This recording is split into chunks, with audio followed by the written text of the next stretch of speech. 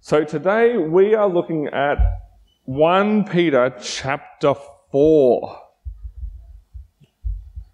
Who's read 1 Peter chapter 4? Great. Well, it's a very interesting topic. Now, I thought I would pick up on something that Mary was talking about a few weeks ago, and she was talking about fruit. Do you remember that?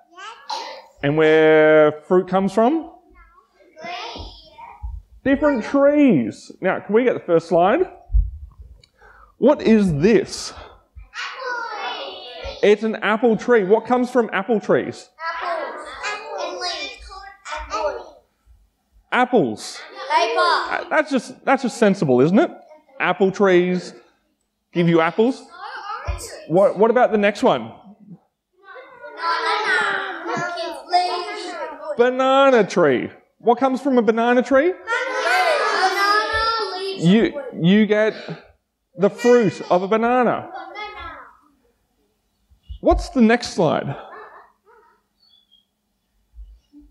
The next slide. There we go. What's this one? The Bible. So, trusting in God. What, what fruit do we get from trusting in God? Strawberries? What about what about a a love for God? So knowing God and reading His Word, we get a love for God. What about what's another fruit that we get? Love for others. So we actually were talking about this in Kids Club on Friday. Loving your neighbours as yourself, wasn't it? From Mark. Yeah. What's another fruit that we get from following Jesus? Oh. As the Spirit, fun. What about, let's see what else I've got. I've got one of these and, oh, they're in here somewhere.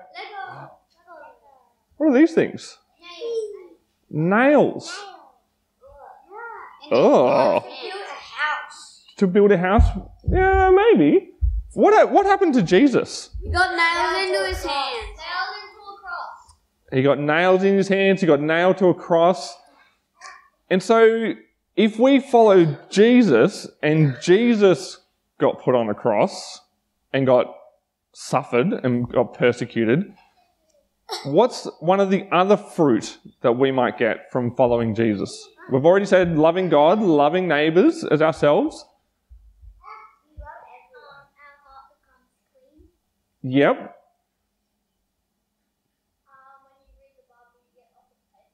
Yeah, lots of paper. But if Jesus suffered, what are we going to do? What's likely to happen to us if we follow Jesus? I got no right. Yeah. We'll, we'll probably suffer as well. And you know what? Do you guys suffer as Christians at the moment? No, not really. Maybe your friends in the on the playground go, "You go to church? That's weird." But there are kids all over the world who suffer a lot more because they follow Jesus. And we're going to be looking at that in 1 Peter. And it's not something that's uh, something to be avoided, but Peter actually says it's something to rejoice in because we're like Jesus. And so we've got some sheets that are going to look at that. Why don't I pray as we think more about uh, the fruit of our lives suffering with Jesus? Uh, dear God, thank you that we can uh, be your friends.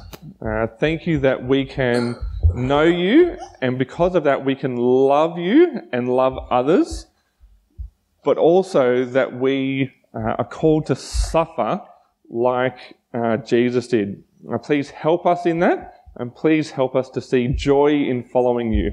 Amen.